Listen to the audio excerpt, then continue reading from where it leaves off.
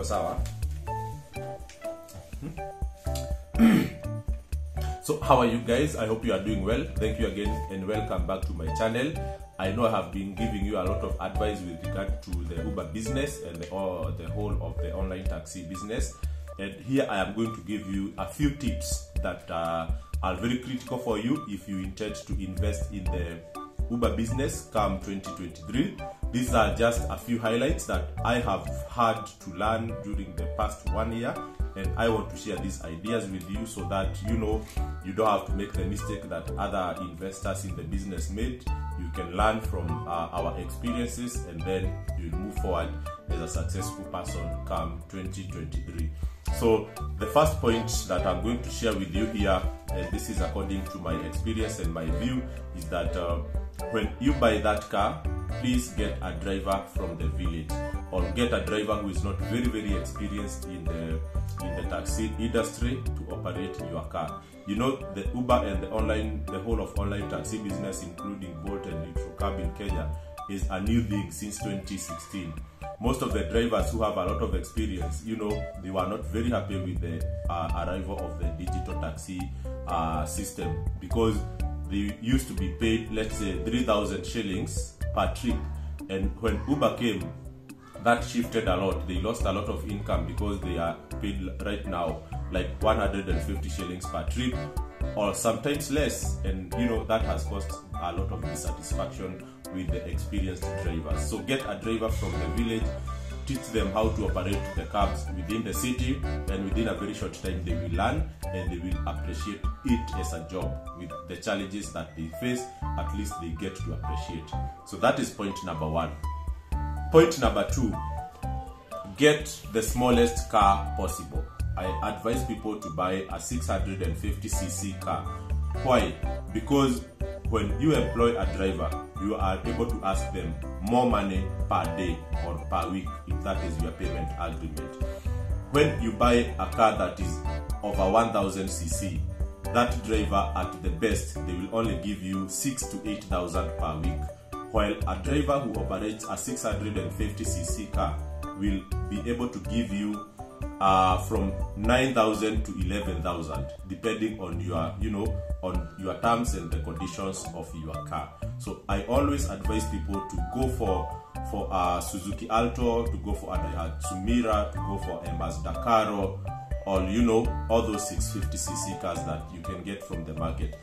Avoid as much as you can uh, to put uh, Nissan Note, Nissan March, uh, you know, Toyota Vitz, uh, Demio, uh, and then uh, Fit, all those, uh, you know, 1200cc cars into Uber because your driver will never stop complaining about the increasing cost of fuel and they will always try to cut corners to give you, to make their ends meet what I tell people is that you don't have to pay for the comfort. The comfort that the customer will find in uh, in uh, Nissan March, they will find in Honda Fit. You don't have to pay that comfort, you know, from your own pocket. Buy a small car that will deliver the customer to the destination slightly a bit comfortable, but at a very good conditions, and then you make your cut. Point number three.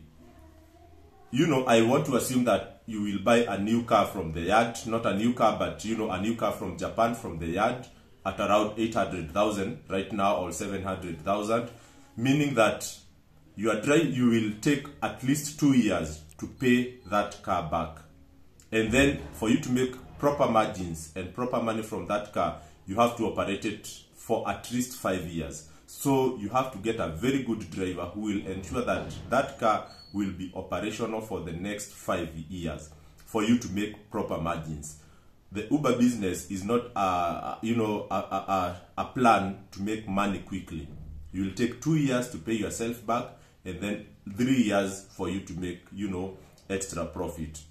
So given the hard work that this car does every day from 8 to 5 p.m. it is on the road making at least 5000 kilometers per month you know and that car you wanted to do five years you have to have an extremely good driver and make sure you service it as it requires okay number four we have talked so much about your car being operated by another driver but i also give advice to people who can afford to have their own car. Even if you have a, a private car that you use for your private travels with your family, you can also have a small car like a 650cc that maybe it's being operated by your wife or yourself.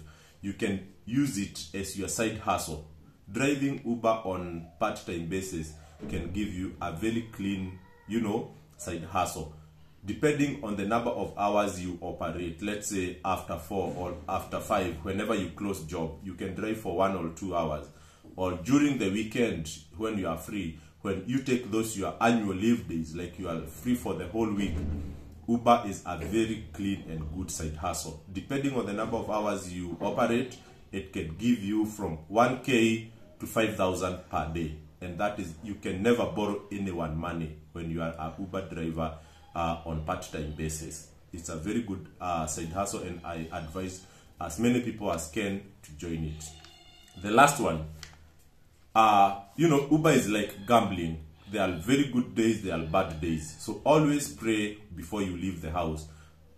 Pray for your driver. If you have many drivers on one, just say a word to pray so that they can leave the house with good luck, so that they can get trips towards nice destination, towards busy destination, where they just drop and pick so that they don't uh, drive towards villages where they'll have to burn fuel coming back to get another ride.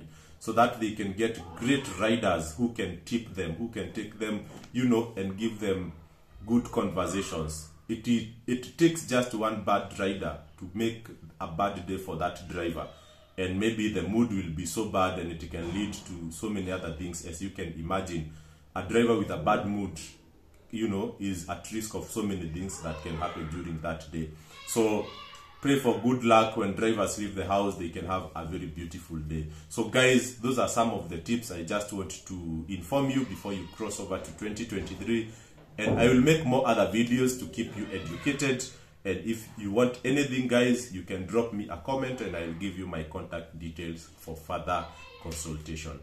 Thank you and Merry, Merry, Merry 2023 very successful in the taxi business. Cheers.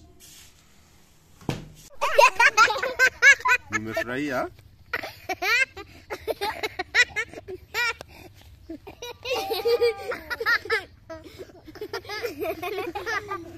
Dadi hayuko?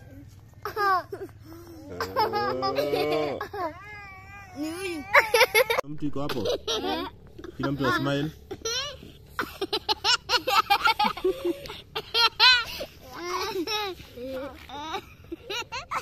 Ha ha ha!